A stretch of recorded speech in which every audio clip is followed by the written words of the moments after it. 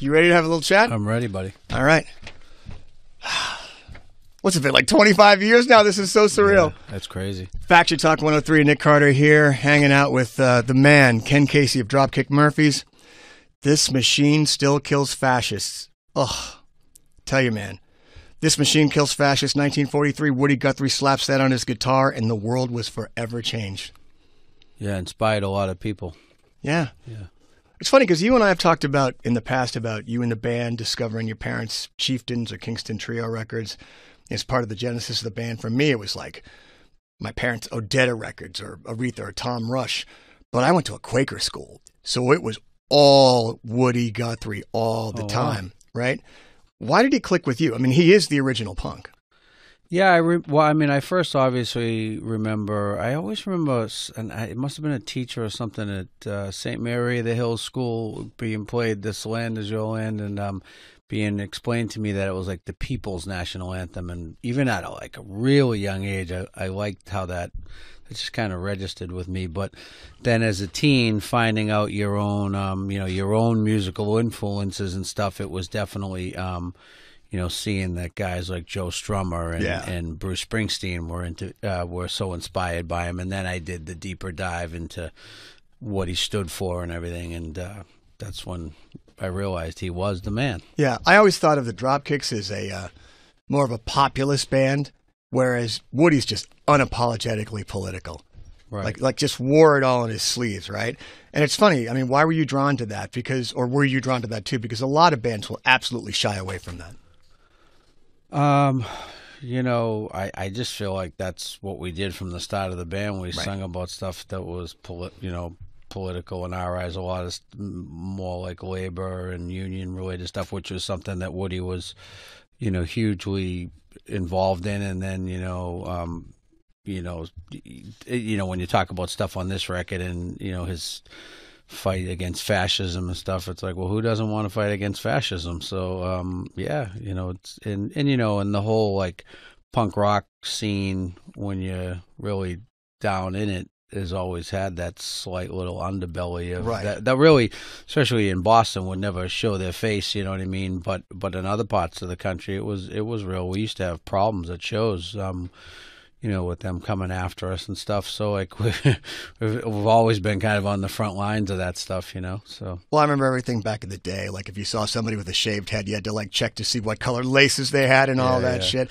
And it's so funny you say that. Who doesn't want to fight fascism? But uh, you oh, know, it's a very much of a triggering word these days now. Uh, Yeah. because um, you know, you know, people throw throw the word around like they change the meaning. It's like, Right. no, you're a fascist. No, you're a Right. fascist. Uh, but It's I- like I Nazi. mean, people have been people have been like sort of just really sort of loosely throwing the word throwing around the word fascism for a long time. Yeah. But now it's actually there's you know concrete concrete uh, examples of it. Like in Sweden, Yeah. Sweden. yeah, What the yeah. Jesus? So I, I just feel like, you know, we're just kind of carrying on in Woody's legacy. And when we were searching for a title, we were like, well, man, nothing, nothing says it more than, you know, you know, especially on the punk side of things, how that really registered with people so much and I, and you know, how it caught my attention. And so, yeah, we figured, especially in the time and, eh, you know, place that we're in now politically, it just seemed like the right it just seemed like the right thing to do. Like I call, when I thought of the idea, I called you know Nora, his uh, Woody's daughter, and I said, "What do you think of this?" She was like, "Whoa, okay, well that's not beating around the bush, you know." And I was like, "No, it isn't." Yeah, the album is This Machine Still Kills Fascists. And first of all, respect. I want to say thank you. I forgot to when we sat down because I was just so excited to see you after so, so many years. I always appreciate when an artist comes through on release day because that's a big thing.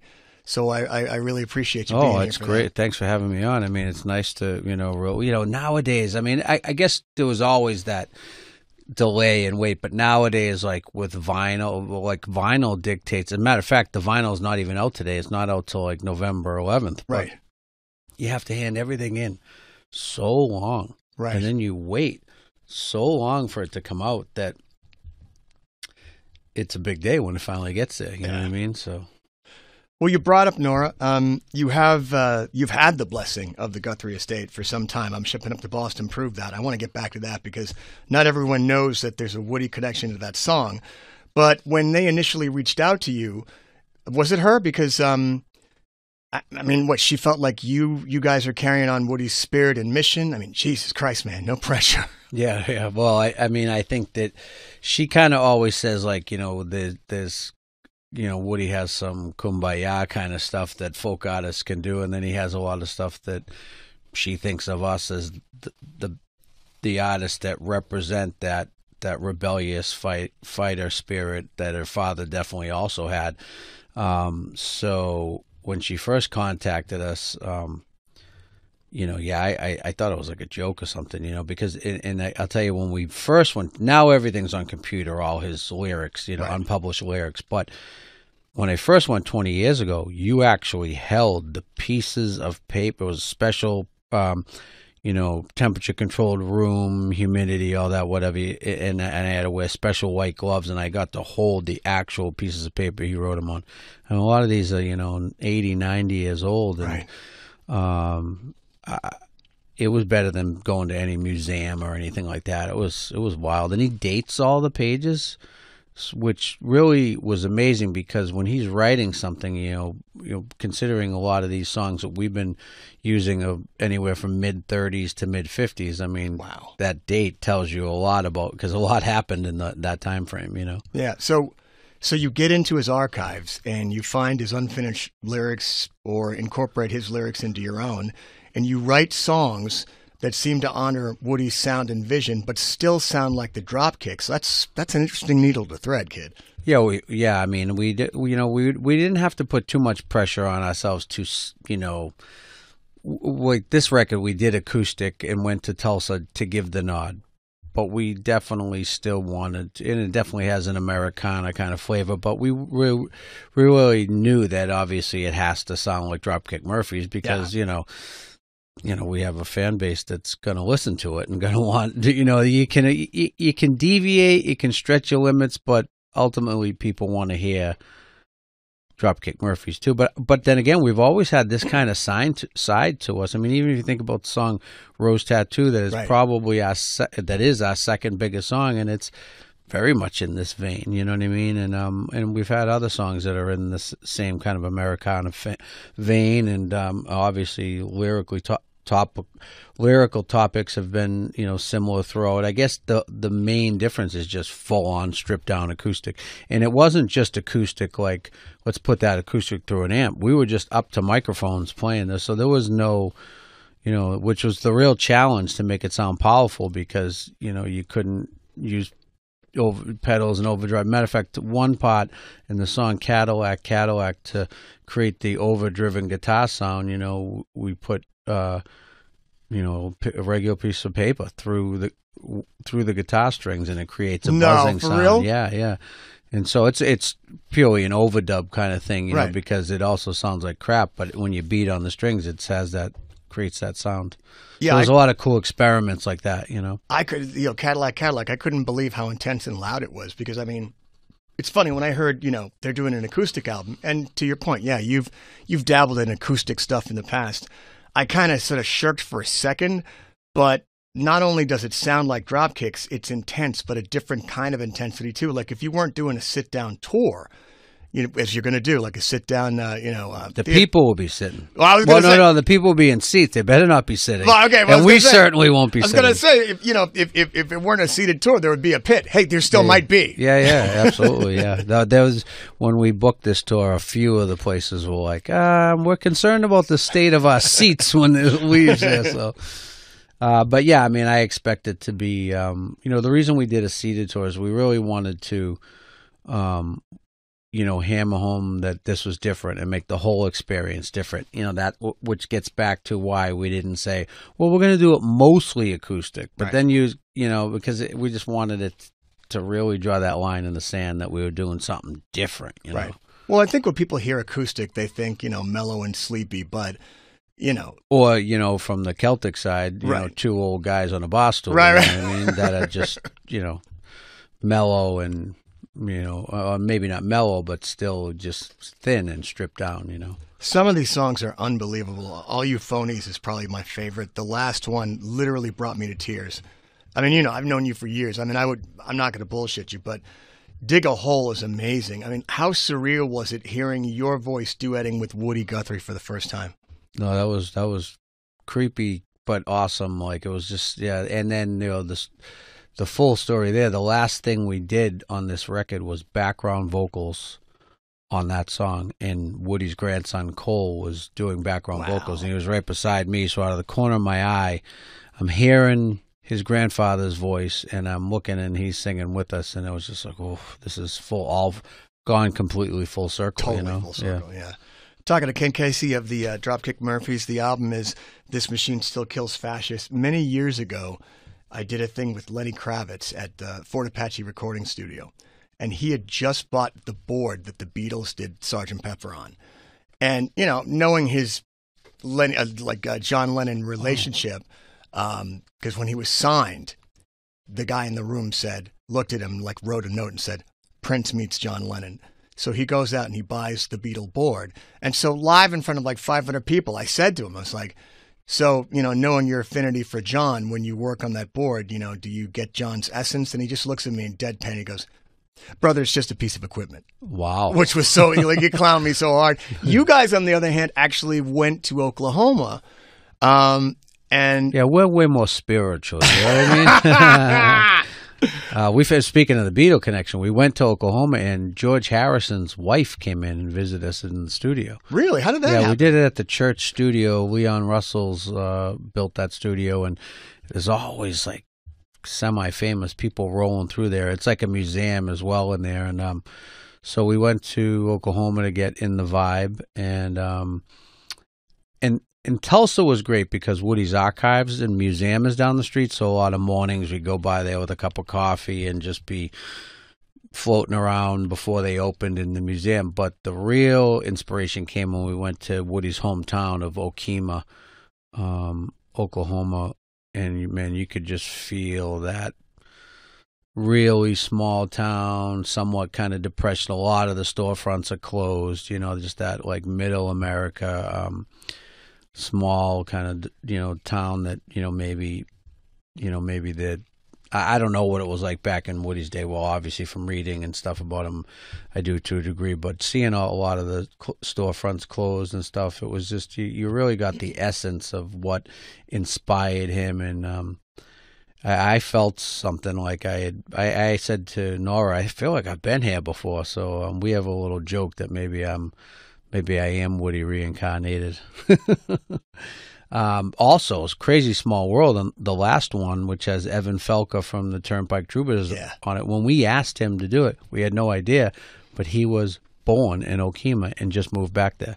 So like, it's a small town, man. So the odds of that are like almost crazy, you know. Is, I mean, is the town at this point, because I've never been, I, I want to get to Tulsa and I want to get there too. Is it kind of like a living monument to, to Woody? Uh, well, we were, we were shooting some videos there, so we were walking around playing, and a couple people pulled them said, "You're doing Guthrie stuff," you know, like they must just every day be random musicians walking around playing. But one old timer in a truck said, "You know, come with me," and he brought us in this old, I don't know what it was. It was some some storefront that was all closed up, and in the back they had like a replica, like almost like a dollhouse size replica of the house he was born in, and all this other, like, and you know, and it looked like no one was. It wasn't like it was open to the public to see it. I I don't know what was going on, but we got to go in and kind of see some other really cool Guthrie, um, you know, archive stuff that that wasn't even being viewed.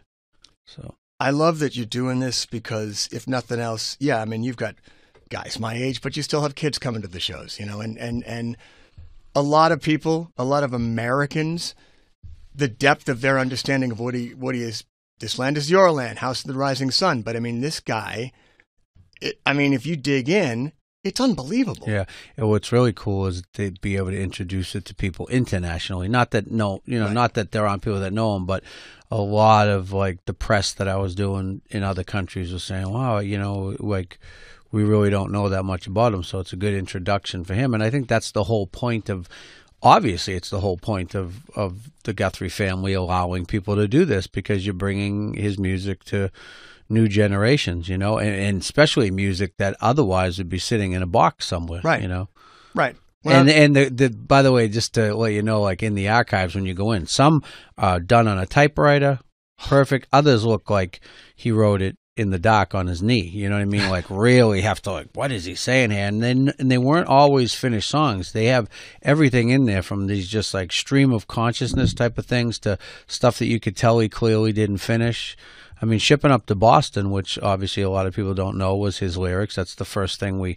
I'm just going through all these deep lyrics, and then I stumble on shipping up to Boston. I lost my leg, and I was like, "What was he smoking this day?" but the thing about that song is because it almost seemed like it wasn't finished and didn't have a lot of words, it kind of made that song because the inst- because we had we didn't have a lot to work with. There's a lot of space in the song, but the space really cr- is the secret to that song's success because you have the words and then that instrumental part goes and goes and it really builds for the chorus.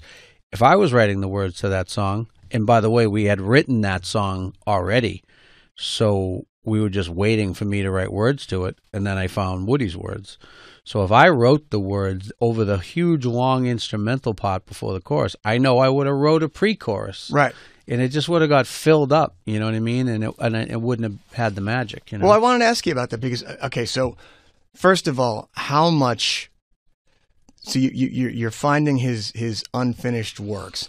Now, are we talking? You know, maybe like a lyric or like literally like like a little scrap of paper with just like a song title? Was it like all kinds of stuff? Like all that? kinds of stuff. Yeah. And so you're just literally putting everything together like a quilt. Yeah, yeah, Wow. and we had to, you know, we got we got to use add a line here and there and use some liberties, move things around, but you know, as best as possible, we tried to.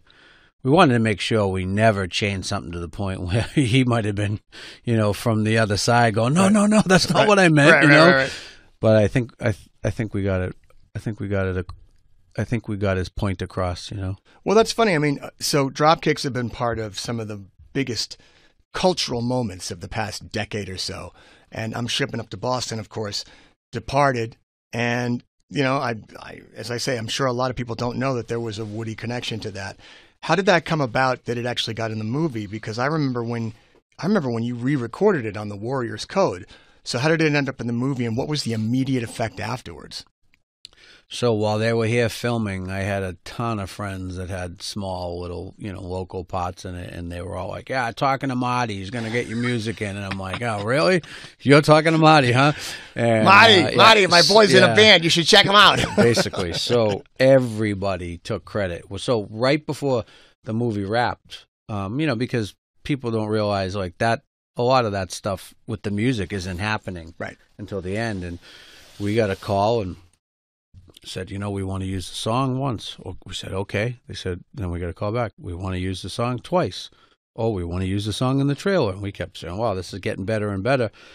And I was thanking a bunch of my friends who were all taking credit for the longest time. And then I read it like a Rolling Stone article, and Robbie uh, uh, Scorsese says, "I got to thank you know." And actually, he said it when when when Scorsese did his Oscar speech. He came off the stage, and then they immediately go into like a press room. This was on TV, and he, the first thing he says in the post stage uh, press interview was, "I want to thank that band from Boston, Dropkick Murphys." I was shocked, and he says, "And Robbie Robertson from the band who brought me the song."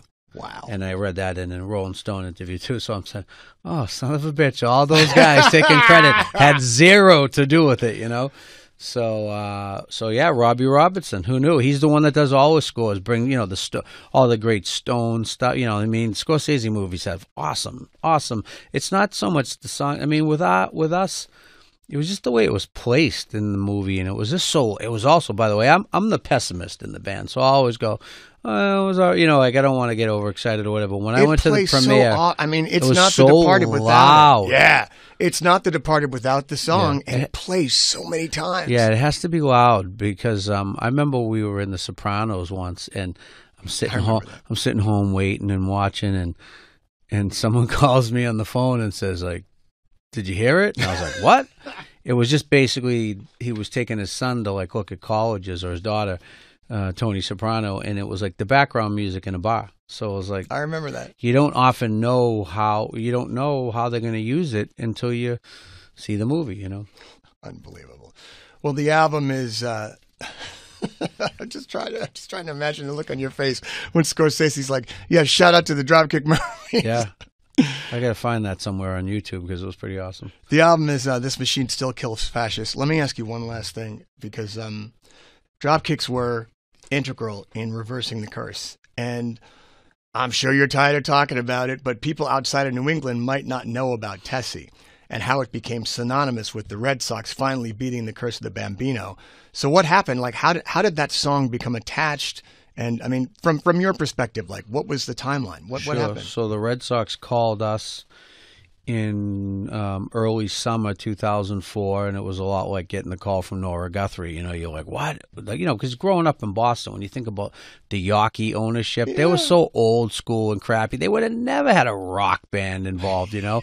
And so the new ownership, you know, called and we said, you know, They wanted John Kiley to cut his hair because he looked too much like a long hair yeah, right, right, exactly. so I said, uh, "We're in," and then they said, "Great, we'll send you the song." And I heard the song. I said, "We're out," because it was just this old, like you know, Broadway turn of the century song. Uh, um, so we ended up just taking the melody kind of and recreating the song and updating the lyrics and. Um, um, Jeff Horrigan, who wrote for the uh, Herald at the time, sports writer, kind of we got with him on a lot of the history because you know I, I, I- knew obviously about the Babe Ruth stuff, but there was so much more to it. You know, the so the story for people listening is the Red Sox when they won a bunch of World Series uh, in the early 1900s before they traded Babe Ruth, they had this ardent group of fans, and apparently that's where the term fanatic came from. From these guys, they were called the Royal Rooters. It was uh, mostly Irish immigrants. Um, JFK's grandfather, Honey Fitz, who was mayor of Boston, John L. Sullivan, the bare knuckle boxing champ, um, this guy, Nuf Ced McGreevy, and they would basically roll up on the games and, and sing this song Tessie, but change the lyrics to basically heckle the uh, opposing team. And that's a rogues gallery too, Yeah, man. There's yeah, a bunch yeah, of tough customers. yeah, right you don't there. want John O'Sullivan uh, up in your face. So basically, um, when they traded Babe Ruth, the Royal Rooters turned their back on the Red Sox, stopped singing that song. So someone was digging through the history with the Red Sox, and they said um, we need to bring this song back. So we re- we re- we recorded it that summer. We debuted it on the field July 23rd, 2004, pregame, um, played it live. And uh, on the day before, I'm sorry, it was the 24th. On the 23rd, I did an interview with the Herald and guaranteed a World Series. I didn't believe it. I was just talking trash. And and then so we debut it and they're getting killed like nine to one. And we're like, oh crap, we didn't even get out of the starting gate. But that ended up being the game where uh, a A Rod and Varitek got into a fight, Right. and they had a huge comeback. And Bill Mueller hit a uh, walk off home run, and the rest was history. And you know, but that year was so intense because we were so involved with the team. Like when when we were down three nothing, down to our final strike. Dave Roberts is you know what led to the steal. I'm getting you know phone calls. Don't ever get involved with my own, my own friends. You know you're a jinx. Don't ever get involved with another team. Yeah. So like that steal was literally life or death for me. You know. That was the first thing I thought. I was like, all right, drop kicks are involved. It's like, oh God, man, what happens if the Red Sox become, you know, the Red Sox? Like we, we're Yeah, just so yeah, used to being crushed by these guys. Yeah. Uh, the best thing about that was getting to call all my you know New York friends and for all of us. The first time we played New York after that happened, it was like the Blues Brothers. We went on stage, we dropped the screen and played all the highlights, and they were just humming beer bottles at the screen. Yeah. So "I came back out. I said, "You don't wait 86 years to rub it in, and then not rub it in." so yeah.